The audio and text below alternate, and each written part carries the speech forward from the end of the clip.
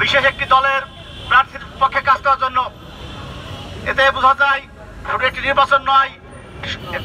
জনগণের ট্যাক্সের হাজার হাজার কোটি টাকা ব্যয় করে নির্বাচন নামক তামাশা অনুষ্ঠিত হতে তাই এবি পার্টি ঘোষিত, নির্বাচন বর্জনের যে ডাক দিয়েছে, সেই বর্জনের ডাকে আমি সকল বাংলাদেশের সকল মানুষকে, যারা বাংলাদেশকে একটি গণতান্ত্রিক, একটি কল্যাণ রাষ্ট্রে পরিণতি করার স্বপ্ন দেখেন, সবাইকে নির্বাচন বর্জনের এই ডাকে সামিল হওয়ার আহ্বান জানাচ্ছি।